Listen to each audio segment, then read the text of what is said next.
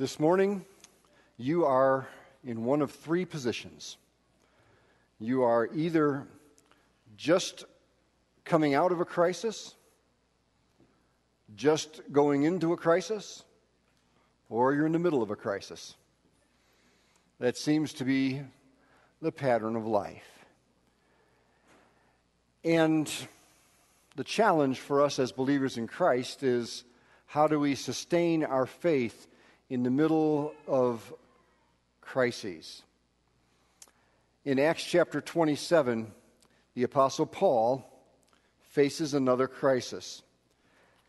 It's a crisis which he didn't really have to face because it appears from a human perspective he made a calculated mistake at the end of or in Acts chapter 26 for the last verse of Acts 26 has Agrippa talking to Felix who has imprisoned Paul and, Agrippa says to Felix it's too bad that he appealed to Caesar because otherwise we could have set him free. And that catches us up because he's appealed to Caesar and now they're going to go to Rome. And so he has been um, he's being sent to Rome, and this is where we start in Acts chapter 27.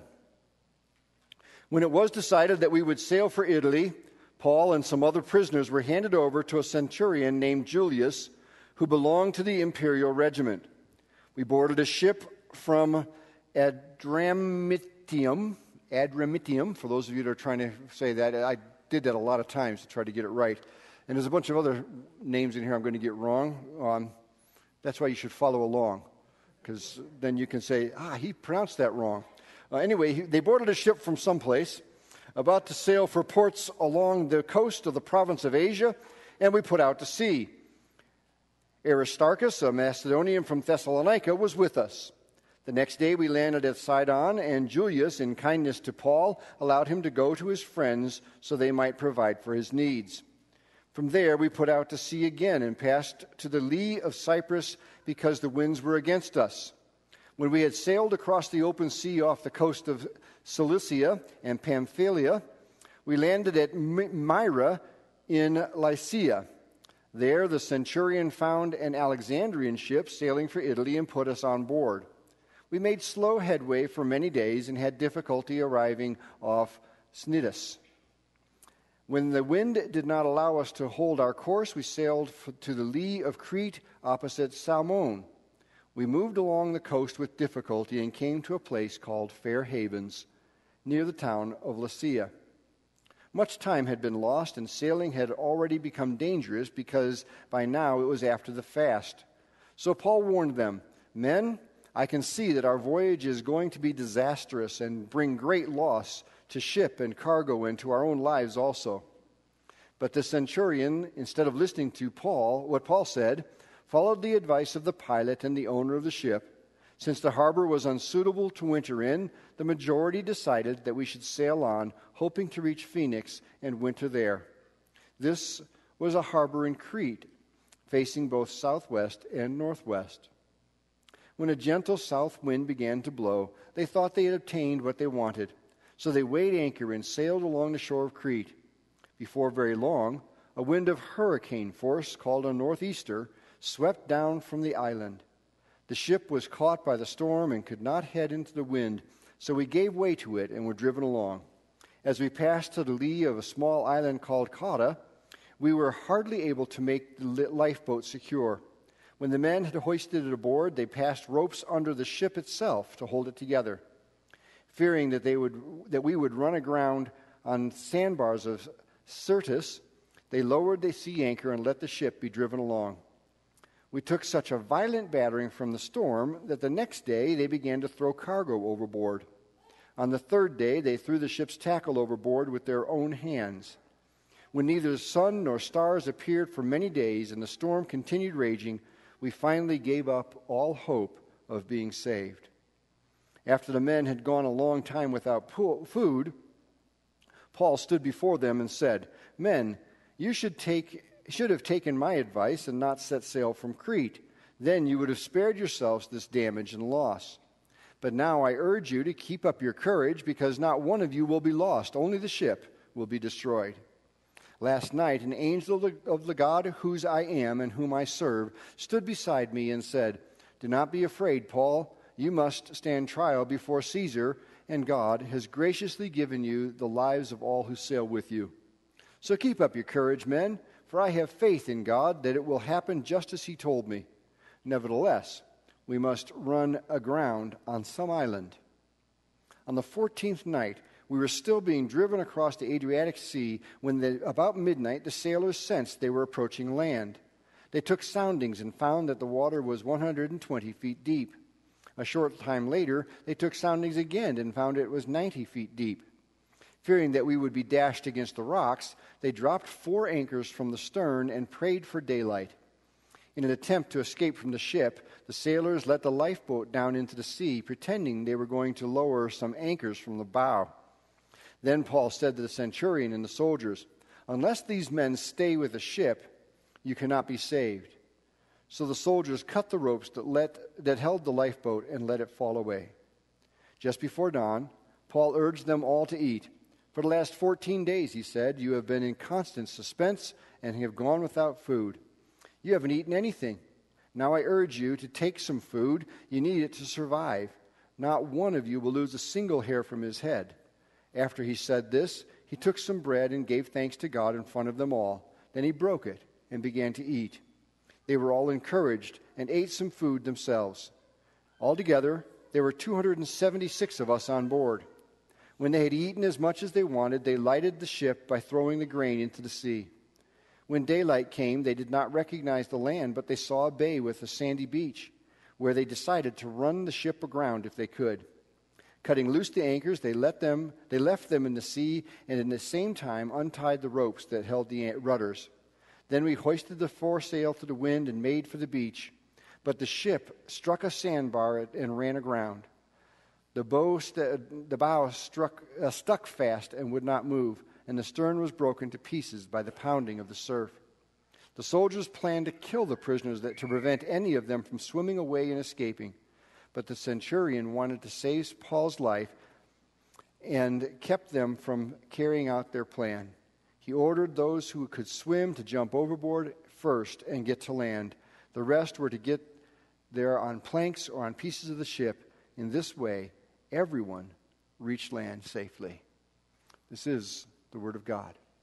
Father, as we look to this passage, we ask that you would speak a message to each of us individually, that we would understand why you've placed this in, in your Word for us today. Amen. Paul has gotten out of one bad situation. He's been released from the jail in Caesarea, but now he's in a ship that's going to have a shipwreck, and it gets worse because once they get on shore, we find out in the next chapter that Paul is gathering some firewood and gets bitten by a snake. That's from the, from the frying pan into the fire. That's leaving one crisis to enter another crisis. And through it all, God receives honor and glory. In your life, you are either coming out of, going into, or in the midst of a crisis.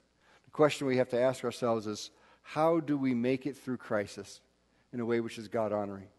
And there are three lessons we're going to learn from Paul and his experience in Acts chapter 27, which I believe will help us in the midst of, or in preparation for, or looking back upon a crisis in our life. The first lesson is simply this we, the storms of life are not meant to be weathered alone.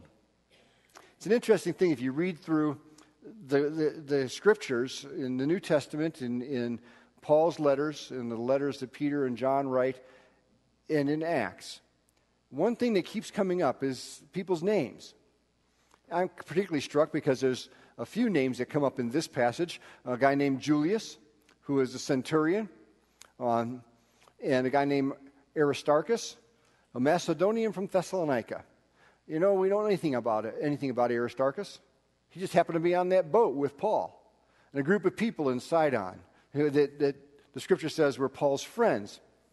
And there's a reason that the scripture mentions names.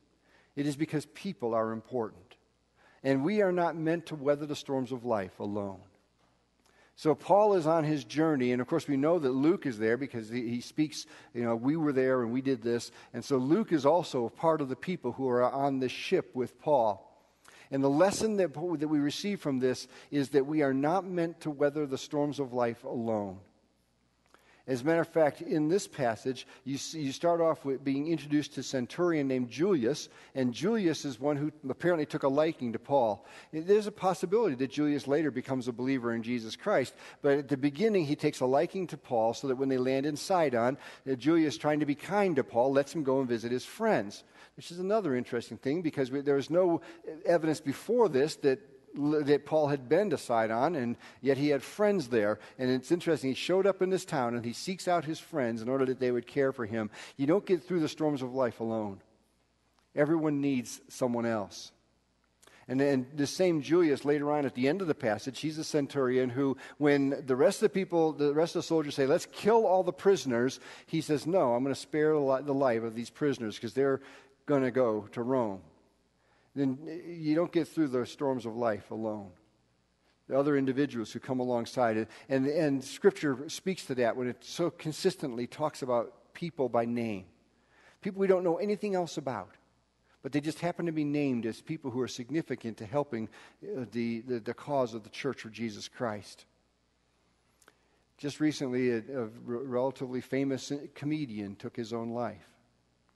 One of the reasons he took his own life is because he didn't reach out to people at a time when he needed to. And I understand that depression can do terrible things to you, but the, the reality is that you don't make it through the storms of life alone. If, you, if you're alone, you tend to do stupid stuff. You don't make it through the storms of life alone. So, one, one of the lessons we have to take home from this is that it's okay to ask for help. It's okay to come to a friend and say, you know what? I am struggling. I need some prayer support. I need you to check in on me. Can you just come and spend time with me? It's okay to say, I need a friend. It's okay to, to, to just express that you are hurting, that you're going through a storm in life right now. To have someone say, you know what? I'm praying for you. I, I, think it's really it's a cool thing from a pastoral perspective when I overhear someone talk to another person and say, you know what, you asked me to pray about such and such a thing, and I haven't talked to you for a couple of weeks. How is that going? I've been praying for you. You, we are not alone. We, we, we, we need to cultivate relationships because we're not meant to weather the storms of life alone. And when we try to weather the storms of life alone, bad things usually happen. The text mentions Julius, it mentions Aristarchus, it mentions 275 other people who are on that boat with Paul. And I, I like the, the, the, lesson of, of the, the lifeboat, the lesson of a lifeboat in verses 30 to 32. That's where some of the soldiers, they decide, you know what, we'd be better off without these other 200 and some odd people. We're going to cut strings, we're going to go out on the lifeboat. And you think about that, you know, you could You'd be in a heap of trouble if you were uh, part of the crew of a boat and you said, you know what, the, the ship's going down. We're taking a lifeboat. Um, but that's what these soldiers are going to do. And, and Paul says, you know, that's a bad idea. If we let them go, we're all going to suffer. And it's an interesting thing in the text because earlier on in the text, when Paul said, you know, it's a bad idea for us to set sail, everybody ignored him. But here he says, don't let those guys go out on that lifeboat because if they go, we're all going to going to lose in this endeavor. And so they, they, they take a drastic action. They actually cut the ropes and let the lifeboat go. So they're all in it together. It's an incre- incredible lesson for us that we are all in it together, that we are not meant to weather the storms of life alone. It is time for us to admit that we sometimes need help. It's never a problem to ask for help. Don't be afraid to ask for help. And don't be afraid to accept help. One of the things that we have as a church, every, every month we take a benevolence offering. That's, that's there in order for us to help one another. And sometimes you might give to benevolence, and sometimes you might receive benevolence. But you know what? If we don't know you're struggling, we can't help. And sometimes we can help enough to make a significant difference. Never be afraid to ask for help and never be afraid to accept help. And don't be too quick to go it alone. Because when you try to go it alone, bad things often happen. So the first lesson of the storm is that the storms of life are not meant to be weathered alone. God has made us social beings. We gain support from one another. We, we help one another out. And that's part of the reason we get involved in Bible studies and care groups because we have an avenue where we can get to know one another. We can find out what our needs are. It's one of the reasons why we connect to each other face to face instead of on Facebook. Because when you're, when you're on Facebook, you don't see the, the body language which comes from what somebody says. And, and quite honestly, um, this might come as a surprise to you, but there's a lot of people on Facebook who just lie. They don't tell the truth. They, they, they don't give their real feelings. Oh, everything's going wonderful. I mean, think about that. If, if you're going to write something on the internet, wouldn't you say everything's wonderful? You're not going to say, man, life really stinks. I'm going through a horrible storm in life. Some of you will, but you know, not the average bloke, because we want to put on a good appearance. We want people to think that we're, everything's wonderful. And sometimes you do that in face to face relationships too. If you're not honest with one another in face to face relationships, it's likely you're going to end up weathering storms alone and you're not going to weather them well. The first lesson from the stone, uh, storm is that storms are not meant to be weathered alone. Get yourself some friends. Get involved in adult Bible fellowship. Attend the cafe and sit around a table with people and, and talk to them and, and express this is where my heart is. And this is, you know, build the kind of relationships so that when the storms of life come, and they will come, get, get the kind of relationships that you can pick up the phone and say, you know, I'm struggling. Can we just have coffee together? Can we pray together? Help me in the name of Jesus. That's the first lesson from the storm. Second lesson is kind of an interesting one because the storm is anticipated. And, and the, the, it's interesting. Someone told me after the first service I missed a, a really important thing, uh, and that is, um, it actually is in verse um, 13. A gentle wind began to blow. They thought they had obtained what they wanted. That is, oftentimes the storms of life begin with a beautiful day.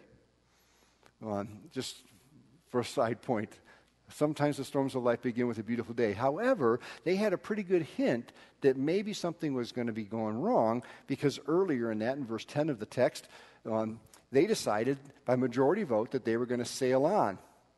But Paul had stood up and said, This is a really bad idea. I can tell you we're not, it's not going to end well. And so, so they took a vote. They were very democratic about it. They voted to go ahead and set sail. And then the storm came, which brings us to the point that sometimes the majority isn't right. The majority is not always right. Democracy works generally, but it works generally because this one principle which we often forget, and that is that there is no one who is set to, to rule over you except they are appointed by God.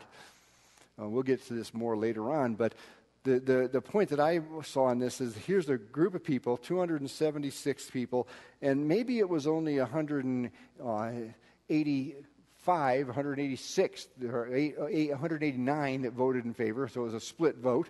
But the, the, the, the general idea is that most everybody decided to go with the sailor's perspective. You can just imagine it. On there's this guy who's a prisoner. You know, he's, he's a bad dude because he's in he's in prison, right? He, you don't get to prison because you're a good dude, and he's uh, and and he's a preacher. You know, and everybody knows that preachers are only good for one thing. That's to preach. They're not like good sailors. They're not like you know they, not, they don't know the weather. And so here's this preacher who's saying, you know, this is going to turn out badly. And all the sailors say, you know, we ought to go on. The owner of the ship says, we ought to go on. The, the pilot of the ship, we got to go on. He said, we're going to go with the people that know something, not the, not the bozo preacher. I, I could just, I could see Paul saying, okay, I want to pull out the trump card. You know, the card says, Paul, apostle, friend of God. Uh, God speaks to me. You guys read the weather. Angels come to me. You guys throw stuff overboard. Uh, you know, your choice, but they say, we're going with the people that know something. Maybe we got to go with the people that know God. Just a thought. Off the notes, but it's just a thought. Go with people that know God. Um, the majority votes and they, they sail on. And guess what? The majority was wrong. Paul knew they were wrong. And the interesting thing is that the majority got their way and everybody paid a price. It's not like it's just the minority, majority that faced the storm, but even the minority faced the storm. It's an interesting thing that even when you know better, even when you know the majority is wrong, you still should speak up. You know, Paul could have said, yeah, that's whatever. Okay. I, I, can see the way this is going. I mean, i am not going to speak up. I'm not going to risk my reputation. Sometimes we need to risk our reputation and speak from the minority perspective because the majority is not always right. And it comes back to haunt them. It comes back to haunt Paul. As a matter of fact, by the time you get to verse 20 in our text, it says they finally gave up all hope. We're going down this road. We're going to go together. We're going to give up all hope because no matter what we do, no matter what we try, the storms of life are too much for us. So, the second point sometimes the majority makes the wrong decision. Don't be afraid to stand up as the minority when you stand up for Christ. And the third point, and the third point I really think is the most important take home point for us today, and that is this that God takes care of us even when we make bad decisions. I, read, I read this text over and over this week, asking God to say, what, what is it, the message you want me to have here? And it turns out that we don't have to make all the right decisions all the time. Now, if you want to tweet something, that's a good thing to tweet. If you want to put it on Facebook, you can say, Pastor Steve said this morning, it turns out we don't have to make all the right decisions all the time. Look at what happened in Acts chapter 27. They made some bad decisions but in the end, it turns out okay. A lot of us struggle with this idea that in life we have to make the right decision all the time. If we don't make the perfect decision, then the other shoe's going to fall and life is going to fall apart. But the reality is that we don't have to make the perfect decision every time. We can make some downright boneheaded decisions, and God will still take care of us because God takes care of his own, even when we make bad decisions. God takes care of his own, even when the majority together decide to make a bad decision.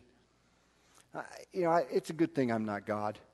Because I'm, I'm thinking if I look down on this situation and the majority votes for, you know, let's sail on, I'm going, man, you morons. You, you made that bed, you can sleep in it. You know, just let me know how that works out for you because I, I sent my prophet down there. I told him, you know, hey, Paul, tell everybody don't sail. And this is a test. Either they, they, they listen to the man of God or, you know what?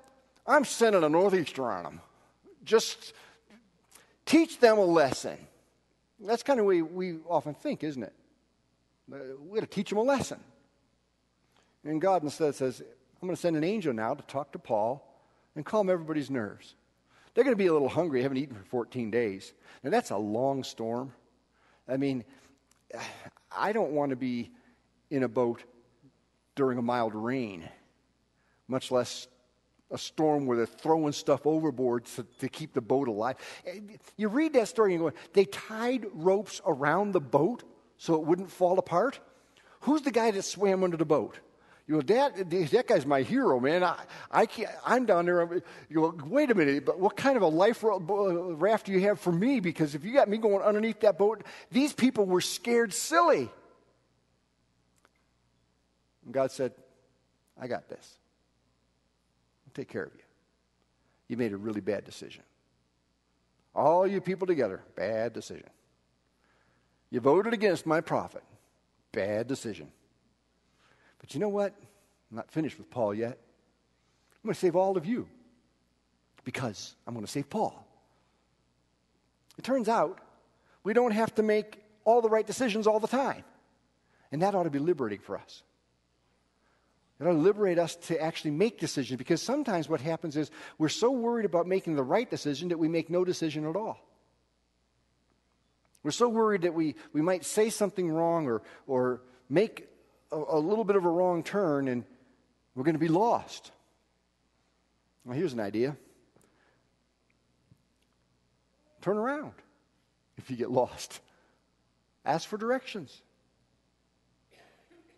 In the storms of life, God always takes care of his own. He always takes care of his own. God is always with us. Even when we're really stupid, God is with us. Even when the majority rules and the majority is dead wrong, God is with us. Even when we lose all hope, God is with us. Even when everything seems to be against us, when the storm has blown up so bad and it seems that nothing is going to work, God is with us.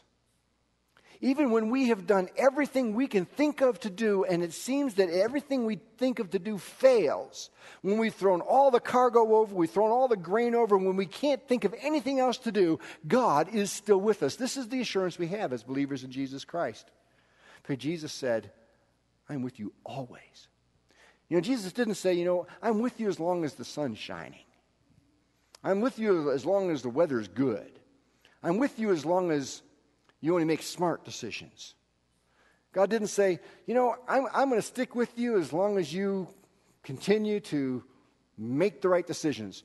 God says He's with us even in the midst of our sin. He's willing to forgive us even in the midst of doing things which we know He doesn't want us to do. He still is with us, He still is offering forgiveness. We don't have to make all the right decisions all the time because God takes care of us even in the midst of sinful decisions, God still takes care of us. Honestly, most of the storms of your life aren't life and death questions. The storms of your life are whether you lost a whole bunch of money when the market crashed, and what are you going to do when you don't have as much money in your portfolio? Or maybe you signed up for the wrong course and you got a teacher that doesn't appreciate you. Most of the storms of our life aren't this dramatic. Some of them are. What's recorded in Acts chapter 27 of Paul and 275 others surviving a storm in the midst of a shipwreck doesn't always happen. Sometimes there's a shipwreck that ends with everyone dying a plane crashes and there are no survivors. And here's the thing God is still faithful, even when the, we have a shipwreck which ends in death. God is still faithful, even in the midst of catastrophes. He has promised He will be with us, He will take care of us. And He will take care of us until he sees us face to face. He will take care of us throughout all the storms of life. And I would submit that until our work on earth is done, we will survive every storm that comes our way. Until your work on earth is done, you will survive every storm that comes your way. Now, that leads me to an interesting conclusion that I should make sure that I never quite finish the work God has for me? That I make sure I know what God wants me to do? I know why I'm here? That I can say, yes, I am doing this. This is God's call upon my life. And I'm going to do this until He says my work is done. So either I do that, make sure my, of my own calling, my, make sure that I know what God wants me to do, or I need to make sure that I'm always close to somebody else who isn't done with their work. Because I'm thinking 275 people on board plus Paul. Paul was the guy. Luke was the guy. These two, those two guys had more work to do. Paul specifically was, had to go, you know, have his trial before Caesar, and Luke had a little couple books he had to write. And you know, so God wasn't done with those two guys. Those are two guys you could have stayed with, and the rest of them are saved because God wanted to save those two. So either find out God's call for your life and make sure you're working at it and looking for what the next thing God wants you to do, or stay next to somebody else who's faithful to God. Because God is going to take you through, where you're going to survive any storm in your life until your work on earth is done. The storms of life. They're not meant to be weathered alone. And sometimes they're, they're caused by the majority because the majority isn't always right. And no matter what storm you face, no matter what difficulty comes your way, God has promised that He will be there, that He is with us. and He takes care of us, even when you make bad decisions. So loosen up, make some decisions, trust in God, because He loves you with an incredible love. A love that says, I will with you, be with you always, even through the darkest storms of life. Let's pray. Father, I ask that you would help us to understand your presence in the midst of the storms that we face in life. Help us to build relationships which will sustain us through the storms of life. And help us not to trust that the majority is always right, but to trust the word, we, the word of God.